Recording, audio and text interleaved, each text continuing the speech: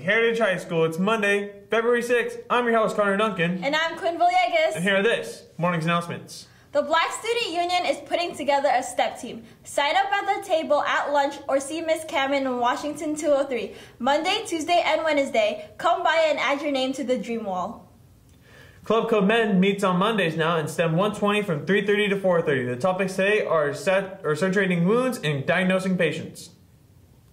Clubs today are Gamers Club in the Student Lounge and GSA in Washington 101 during first lunch and Lincoln 116 during second. In sports today, your, tomorrow, your boys varsity soccer team will be playing Paloma for the opportunity to move on to the CIF playoffs. It is also senior night that night. It does start at 5. Be there to help support your team. There was a big robotics event at Flabob Airport in Riverside on Saturday. We did great. Five out of our six teams won an award. Machine Kings won second place Inspire and the Control Award. Twisted Metal won four different awards Connect, Promote, Third Place Inspire, and Finalist Alliance Captain. Titan won the Design Award. Gear Gurus won the Winning Alliance First Pick and First Place Inspire, which means they did place above first.